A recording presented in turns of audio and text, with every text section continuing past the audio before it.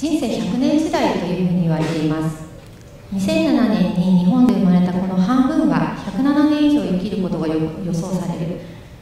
また50歳未満の日本人は100年以上生きる時代すなわち100年ライフを過ごすつもりでいた方がいいということなんですけれどもこの会場の中の改正団の方々含まれるということはこれから100年、えー、あの100年きるということを見据えてあの生きていくわけなんですけれども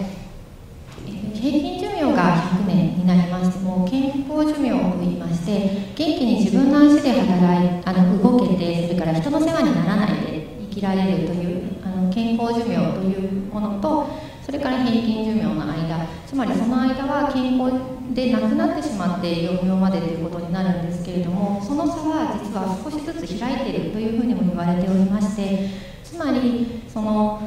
えー、元気でいつまでも100歳生きるということを考えていくというふうにあの考えますとまず寝たきりにならないことだと思うんですね。でその大きな原因は何かというと、えー、高齢によるもちろんあの衰弱によっては最後は寝たきりにはなるんですけれどもそれと同等またはそれ以上に骨折や転倒で、えー、あの私たちは寝たきりになるんですね。ということは骨折を防ぐということが大切なんじゃないかと思うんですが今この時代、えっと、子どもたちはどうでしょう、えっと、これはですねあの、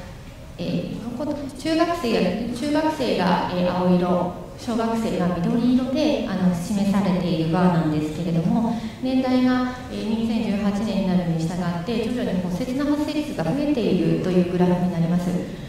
この発生率どうやって計算しているかといいますと小学校や中学校になると学校であのスポーツ振興、えー、保険っていうあの保険に入るんですけれどもそこで、えーと、なので分母が全員小あの小学生中学生そこで怪我をするとそこあの保険が入るので皆さんその申,、えー、申請するんですね。それ医療機関できちんとあの診断を受けて申請しますのでここでの骨折というのはちゃんと医者が診断をしている骨折になります。ですのでかなり正確な前データが出ているわけなんですけれどもやはりその中で骨折の率が増えているというところはあのやっぱり注目すべきと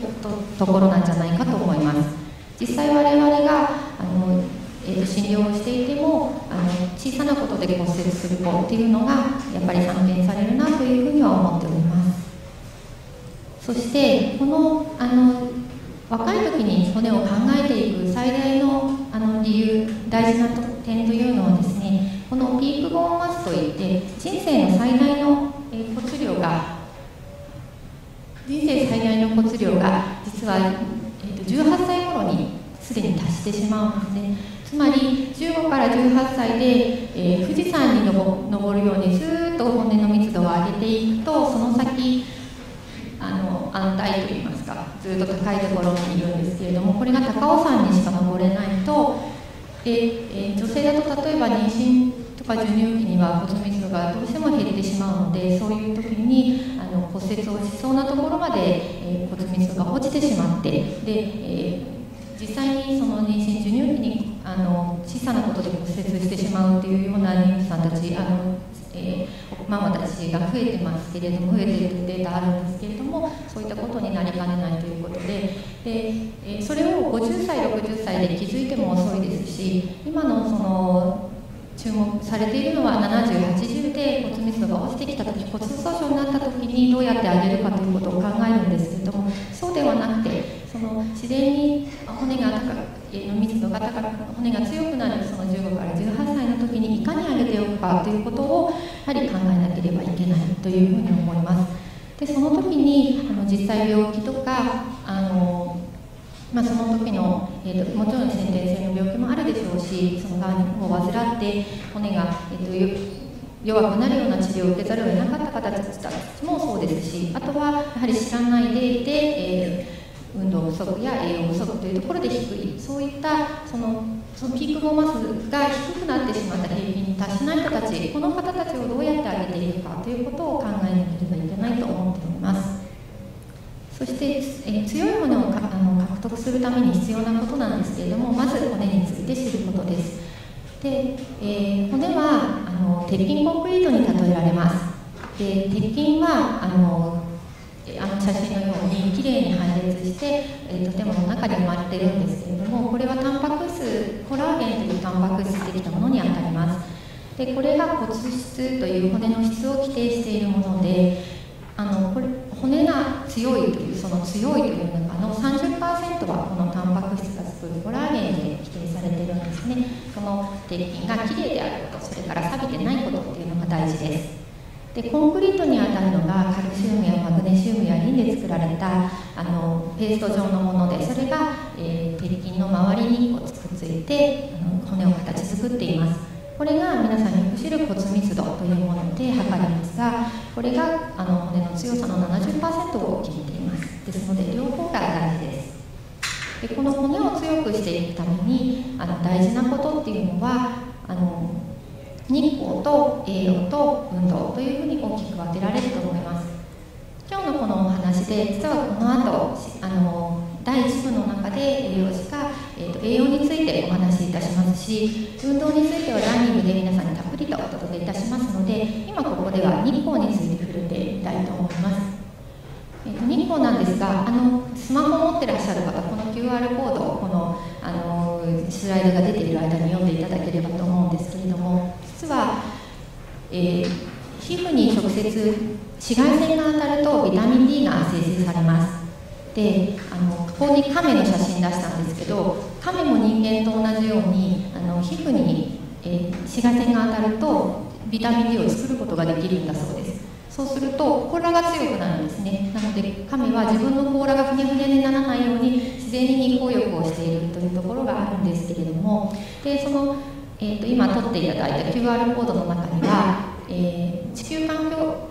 あの筑波にあるですね。あの地球科学、えー、地球環境研究所というところが、えーと、作っているサイトなんですけれどもその日その時間どれだけ日光に当たったら、えー、1日に必要な、ビタミン D を生成できるかというあのことがあの本当に日々その時間で見られ見ることのできるサイトになっておりますので参考にしていただいてあの今日、えーと、今10分浴びればあのビタミン D ができるなそれで20分以上浴びなければその皮膚の例えばシミとかそばかすにはならないなっていうように使っていただけたらと思います。でビタミン D はあの骨だけではなく妊娠高血圧糖尿病早産なんかにも関係しますし子供だと自閉症や注意血管多動障害とかくる病とかそういったあの病気にもあの関係しているものだと思い関係しているものですのでしっかりとること大事です。と骨質あの今骨質が落ちるっていうことをあのがあるんですけれども先ほどのコラーゲンが錆びるっていう状態。で、えー、喫煙飲酒ビタミン B 不足や葉酸不足糖尿病といったこれって骨に関係あるのって言われることがこの実は骨質の方には関係します。ですので規則正しく栄養をとって運動することももちろん大事なんですけれどもあの喫煙や飲酒に気をつけるということもあの大事かと思います。この話の締めくくりなんですが人生が長くあるんですが実はその骨が作られて一生の骨を決める時期というのは人生の3前3分の1ぐらいということになると思います。ですのでこの時期を逃さずにあの子どもたちの骨をしっかり強くしていくそのためにもともとその、えーと、弱い可能性のある子たちをしっかり、えーと、私たちであの治療しまして、えー、平均またはそれ以上に持っていってあげるということを考えてこの、えーと、これからあの少年や世代保健センター、まあ、あのいろんな方の力を借りながらここにも書いてあるようにあの看護師小児科医整形外科医産婦人科医それからスポーツ科学者医学療法士栄養士ってありますけれどもみんなでタッグを組んで取り組んでいくそういうセンターになっておりますので、えー、おります。そして今日あのこれからあのいろんな方にご登壇いただいてお話しいただけますけれどもそのこの今日の、えー、これから2時間余り皆さん楽しんでいただけたらと思いますのでしくお願いいたします。